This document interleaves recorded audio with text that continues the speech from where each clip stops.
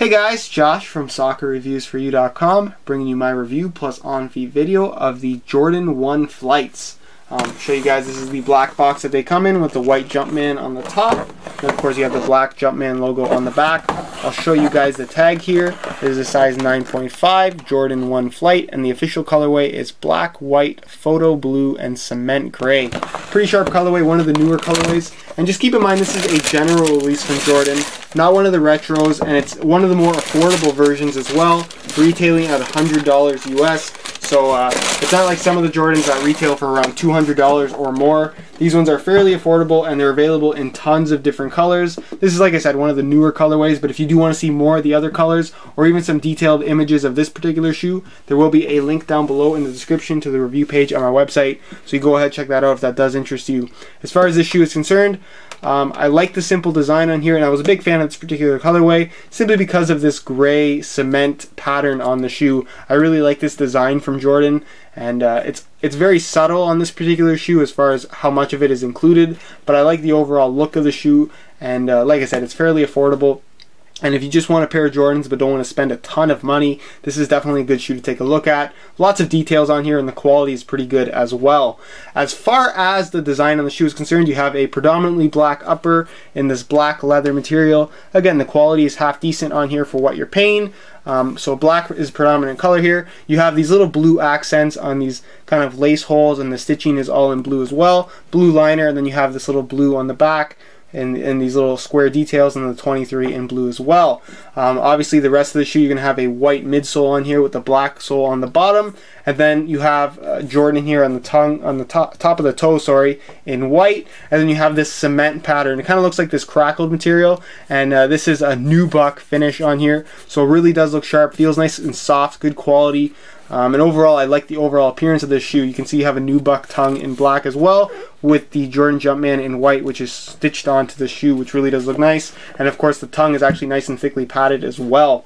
But as far as the design is concerned, I really like these little kind of uh, extra tabs they put here for the lace holes. I suppose you definitely could lace them up a little bit differently if you could. All of these are open. At least the first three are cut out and open. You could put laces through. So if you wanted to lace them even further down uh, the shoe, you definitely could do that. Then of course you have these little square uh, lace holes at the top as well. I like the idea of having a square lace hole as opposed to just a cutout in the shoe. Really does look sharp. Of course you do have the white Jumpman and basically this plastic material on the outside of both shoes as well with nothing on the inside. It's left completely plain. You have this black stitch going around the white midsole as well. And of course this is a high top version. There's a high version, which is what you see here. And then there is also a low version of this particular shoe as well, which I'm sure you guys could imagine it. Basically cuts off right about here. And it looks like this shoe just without being too so high up. This back part you see here has these little square details as well, just like you're going to find on the front. And these are these little plastic square elements. And then you have the Jordan kind of in this nubuck material as well in the blue, which again looks really sharp. I like the blue stitching all the way around as far as details are concerned. And that's pretty pretty much it. As far as what you're going to get on the bottom, you have the Nike logo in the middle, and then you have a sole that looks very much like the Air Force Ones or even some of the Nike Dunks. Um, it's a classic sole that you're going to see from Jordan brand, and uh, overall, this is more a casual shoe, definitely designed for casual wear and not for actually playing basketball in. So, like I said, if you want something that's a little bit more affordable, this is something to take a look at. Other than that, guys, that's it for the unboxing portion, and we'll move on to show you guys what they look like on feet. Alright guys, well here's a look at the Jordan 1 Flight with a pair of shorts on. Very cool looking shoes. They're designed to wear casually. I have one with the laces tied up fairly low and they're tied behind the actual tongue so you can't see the knot. And then on the left foot I have laces tied up a little bit higher with the knot in front. I'm not sure how uh, you guys would probably wear them. I'd probably wear them with the laces tucked behind, but let me know what you guys think.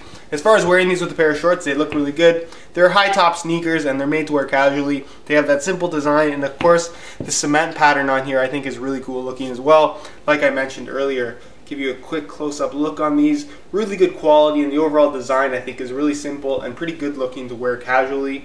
Um, again, for a pair of Jordans, you really can't go wrong for a $100 US retail. That's pretty much it as far as what they look like with shorts on. I'll give you a quick look of them with some pants on.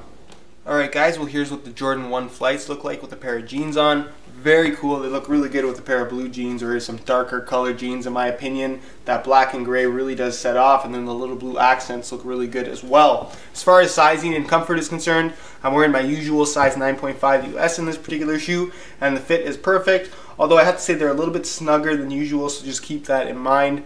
Um, if you do want them to fit a little bit bigger, go half size up. Other than that, they definitely do fit true to size, just a little bit snug in the length. Other than that, that's pretty much what they look like. I'll give you the full tour of these shoes. Again, they look really good. Let me know your opinion on them in the comments, and uh, I'll leave you to my final thoughts. Alright guys, well that's it for my review plus on-feet video of the Jordan 1 Flight. Again, it's not necessarily a highly collectible shoe, but it is a very affordable pair of shoes. So for that $100 retail price, if you do really do want a pair of Jordans that still look really good, like this particular shoe does, um, it definitely is an option to you. If you would like more information on the shoe, feel free to go ahead and check out the link down below in the description to the review page on my website, where again, you're going to find the high quality pictures of this particular shoe, as well as buy it now links for all the different colorways that are available, because there are definitely quite few. Other than that, guys, let me know what you guys think about this particular shoe. Do you like it? Are there other Jordan shoes that you prefer more? Leave a comment down below letting me know if there's any other Jordans you guys even want to see that I could potentially bring in. Like I said, just leave a comment letting me know. And if you could leave a like on the video, it would be greatly appreciated as well. Other than that, guys, I hope you enjoyed the video, and thanks for watching.